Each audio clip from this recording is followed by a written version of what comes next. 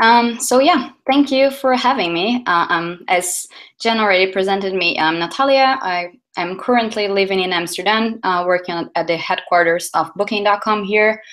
Um, and I come from Brazil. And you also can find me uh, online in any of the social media by just uh, typing in this, my username, which is this. Um, so yeah, um, I'm from Brazil, and as you know, Brazil is a big country. So just to localize you a little bit, this is where I am from. Like it's down there. It's actually closer to Uruguay and Argentina than it is from uh, to Rio de Janeiro. So no, I'm not from Rio. Sorry about that.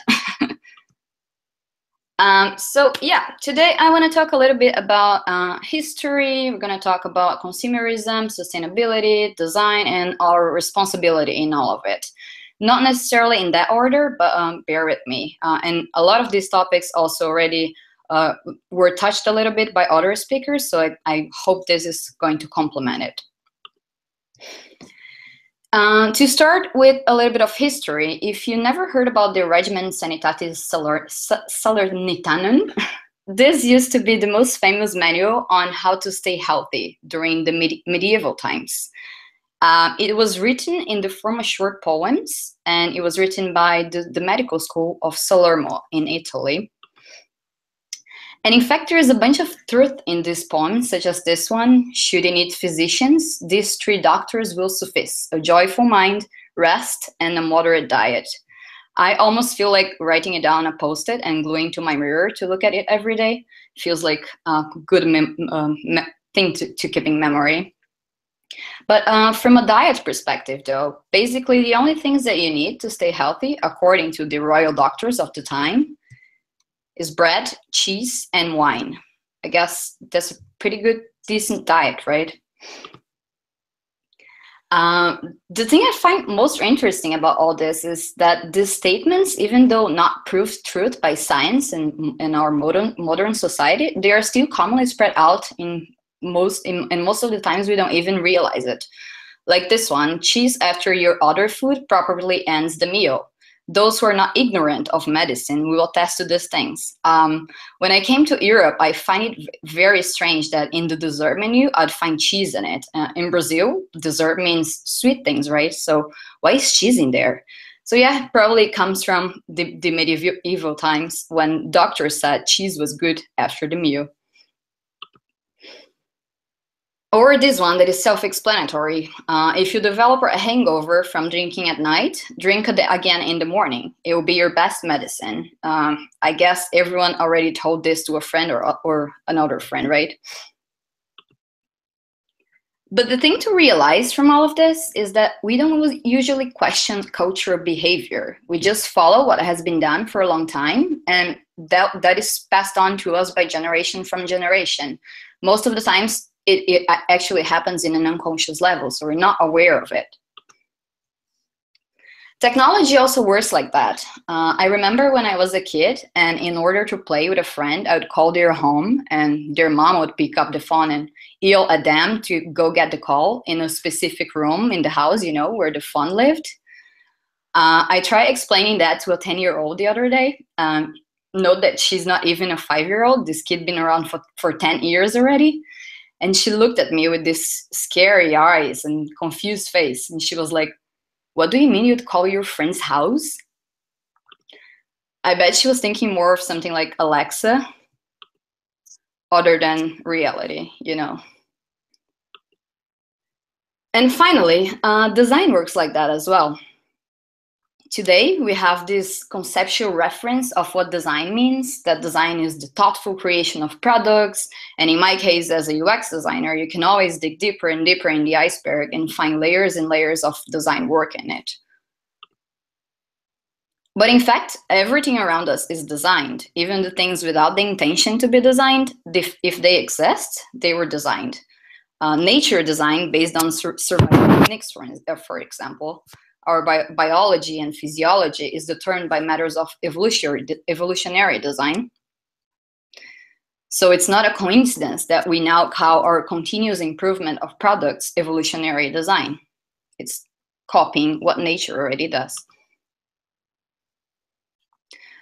But I believe that we are living in a moment that requires a different type of evolution. We need to think about a, an evolution of behavior in order to keep surviving.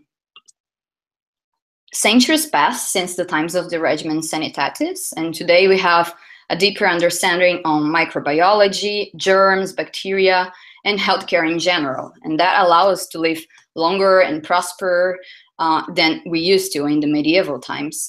Uh, but we still have so much to learn and evolve as social species. We evolved our tools, we evolved our communication, we grew global. From a first world scenario, we've been living in the era of abundance. We have everything we need at our fingertips. We have even more than that. We have anything we can get at our fingertips, but we always want more. So um, let's see how design became this tool that shapes the world around us. And pardon me if you already heard this story over and over, but I think it's important for us to recollect and rethink uh, things that we learned in, in school and that were taught to us from the design perspective. So um, design as a faculty, it started to get traction actually in the 18th and 19th centuries, right in the middle of the Industrial Revolution, and especially with the arts and crafts movement that was uh, emerging from a reaction to the soulless results of machine-made products.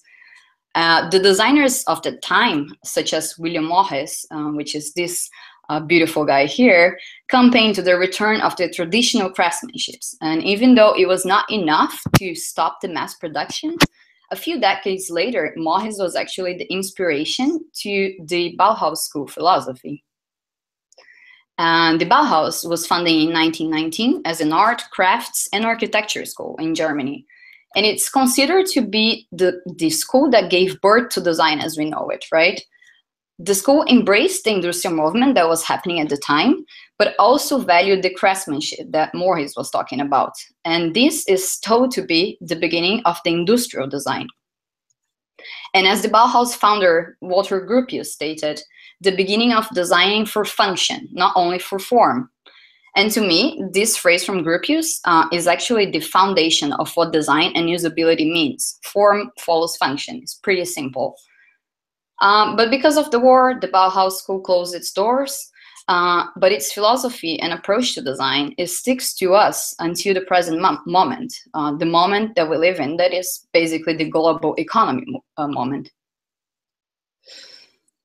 So with the industrial manufacturing becoming cheaper and cheaper uh, and mass production readily available to any business, uh, that's where we got now, plus the possibilities that the, the global economic has brought to us as consumers. We now can wish and buy almost anything imaginable from anywhere in the world.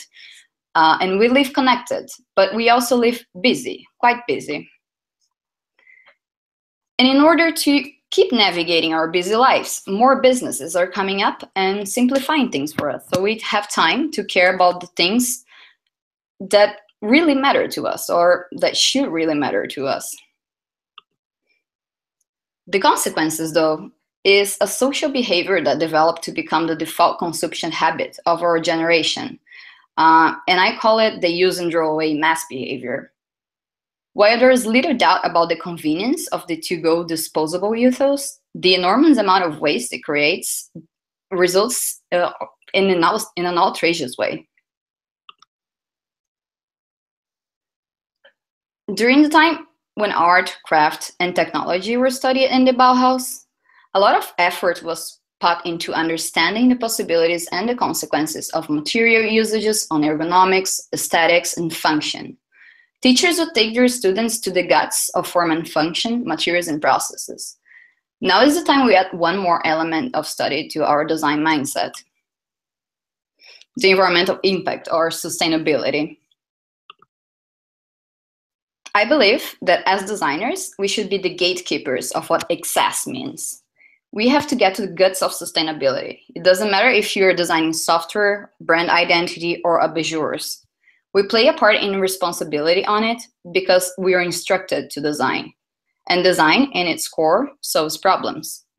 As consumerism, and consumerism is the only the, the current problem that we have, even though we don't often look at that in that way because we're busy, right? As designers, we constantly ask ourselves, are we solving the right problem? Is, it, is this a reasonable way to solve this problem? I'd like to invite you to ask one more final question before putting something out there in the world. What is what problems are we creating? What are the problems that we are creating? We research to understand the world. We design to change it. Uh, the user experience professional's role exists in this continuum between research to understand the user and designing something that changes and hopefully improves the user experience. Designers have this saying, I don't know if you heard it, but I like it. It's pixel bef uh, people before pixels. In the environmental movements, you, you often hear people before profits. I say people before getting shit done, pardon my French. Uh, but the point is, one of the most important disciplines of modern design is empathy, as it was mentioned in this conference already. So let's really think about these people before getting shit done, um, just for the sake of it. What is the further impact that this that I am building is going to have in our on my users' lives?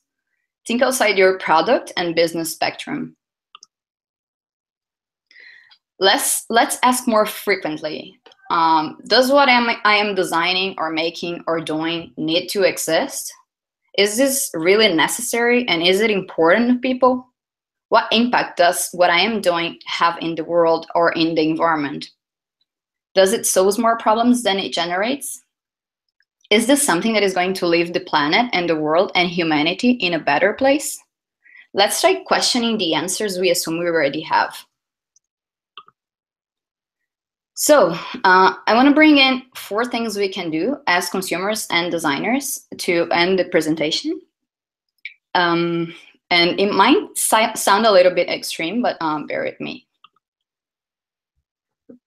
As a consumer, watch out what you're eating. Uh, the catering industry is one of the most inefficient uses of resources in the prop, uh, planet, even though we don't often hear that. Here's just to give you an example.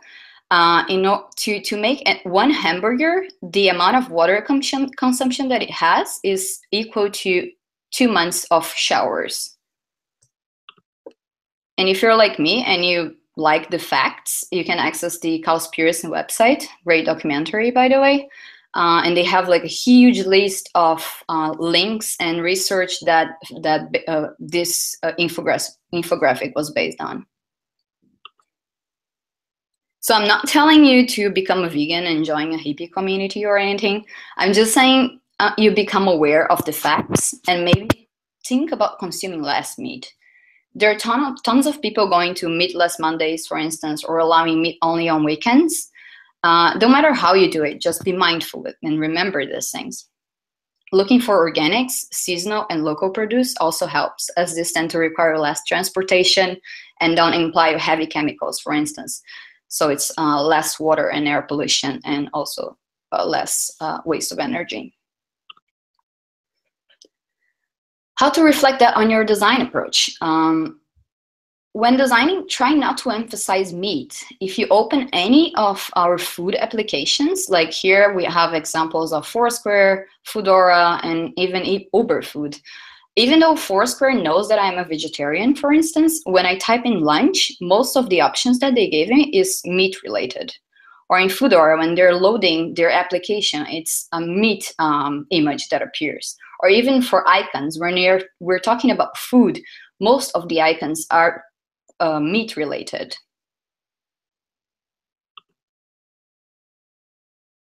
What you buy and how you buy it. Um, ask yourself if the things you're buying are really a necessity.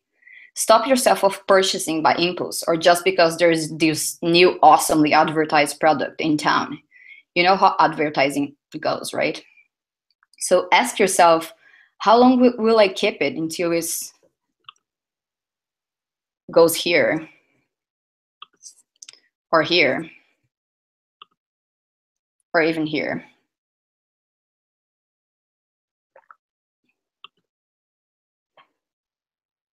Uh, what we can do is try to live in a more minimalistic way. and bring our containers to bookshops and our bags um, and also bring our mugs to events when it's not an online event like this one. Um, and also av- avoid buying waste. Like it, are you buying more packaging than actual product? Think about these things um, also take uh, take back tap water. Like the in, in most countries, especially in Europe and I believe in the United States as well, it's there's no danger uh, at all in drinking tap water. Uh, and if you're still in doubt, that is, I have a lot of friends that do, opt for a filter system or boiling water before consuming it. It really works. Um, and that as well reflected on your design approach. If you're designing offline products or packaging or print materials, think about what happens to it after your consumer uses it. If you're designing for a client, um, you can instigate them to think about what is left behind when the consumer use the, uses their products and what happens if they don't want it anymore. Design products that last longer and provide an efficient way for people to discard them afterwards. Uh, here is also a few examples like H&M, they have this program that you can go there and they collect your used clothes for donations or recycling and you even get a discount out of it. Uh, and if you're printing or using offline material, uh, opt for uh, things that are recycled over new materials and even give your users chance on virtual access instead of printing only.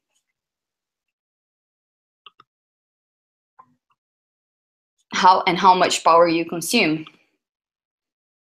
Bill McKibben uh, said that if we are to stay below 2 degrees Celsius of warming, we have to stay at 350 parts per million of carbon dioxide in the atmosphere in the future. Uh, fossil fuels companies have more than five times that amount in coal, oil, and gas in their reserves. And he also says that it's not that we have a philosophical difference with the fossil fuel industry, is that their business model is destroying our planet. Things we can do, like if we can bike to work, why not? At least here in Amsterdam, it's pretty easy.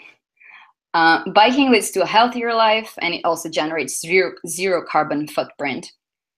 Also think about other tra uh, transport options that could like reduce carbon footprint. Uh, turn off the lights when the rooms are empty and consume energy from green resources whenever possible. There's a bunch of apps that already help you with that.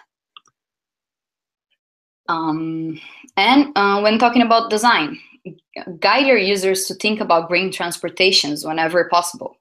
Uh, in this example, you can see um, Apple Maps suggesting first the driving option, even though the address that I entered is uh, quicker to access by, uh, by walking or biking. Um, and Google Maps actually does the same, uh, but at least Google Maps has the, the biking option, uh, while the Apple, Apple Maps doesn't have it. And also what we were talking about um, uh, depth before in, in another talk, right? Minifying files such as CSS, JavaScript, using new technologies uh, that allow us for less space, such as SVG images, optimizing images for the web, also reduces energy. And hiring a hosting company that uses wind energy or solar energy instead of fossil fuels. And last but not least, and the harder one, especially these days, is try voting for leaders that care about the issue.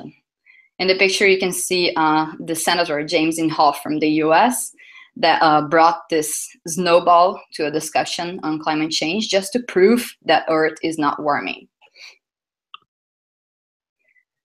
So what we can do is research on our candidates to know if they are committed to fighting climate change um, by proposing renewable energy uh, over fossil fuels, supporting green and local businesses, and also a price over carbon consumption. It's harder these days, but there's still good people out there, and we have to we have to unite and be together. At least uh, at least now, like this is the most important time for it.